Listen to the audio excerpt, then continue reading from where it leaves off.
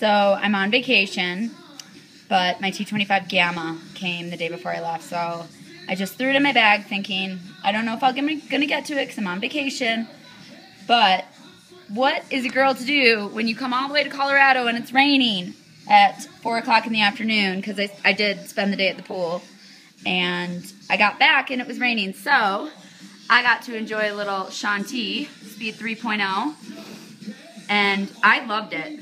I am a sweaty mess right now.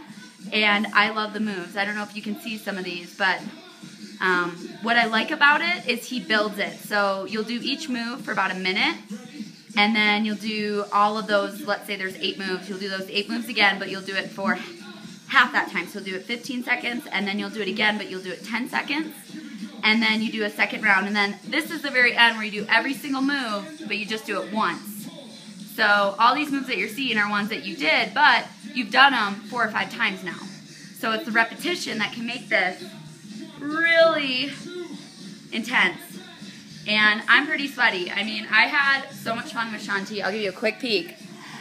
Um, I'm completely drenched, and this is, if you can tell, if you can look, I'll flip it around again. This is all the space that I have. I'll even move back here a little bit. I mean, I, I did move the coffee table. That's true. It's it's right there. so yeah, I had to rearrange the room a little bit, but I made it happen. Why? Because I just threw it in my bag. So even though I had no intention of doing it because I am on vacation, I was going to go for a run. You can't really see it right now, but it, it's not very nice out. It's kind of gloomy a little bit. I mean, it's still Vail, so let's be honest, it's still gorgeous out. But um, it it rained, and it's still raining if you can hear that.